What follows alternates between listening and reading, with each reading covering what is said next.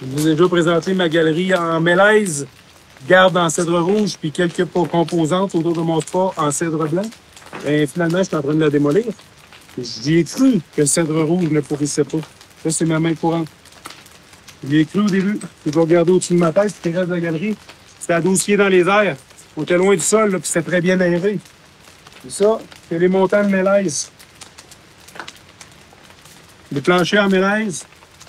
Ça, c'est le tour de mon spa en pain blanc, en, dire en cèdre blanc. Le seul morceau qui est resté, euh, je, vais, vous dire, je l'avais changé, ça fait peut-être 8 ans. Il est resté très simple.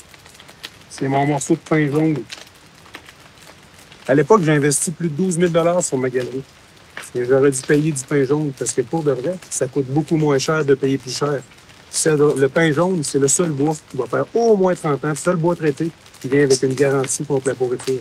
Regarde la durabilité de mon investissement derrière, euh, au-dessus de ma tête ici, là, j'ai payé à peu près 12 à 14 000 de bois, puis j'ai fait beaucoup, beaucoup de, de, d'heures de travail pour la construire. Puis on est 14 ans plus tard, puis ma galerie est pas très esthétique depuis, son, depuis l'âge de 8 ans.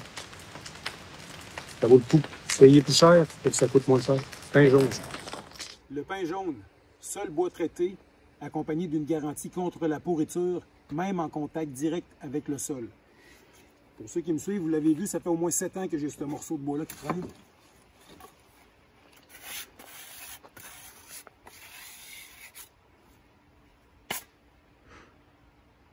Disponible chez MF Bernard.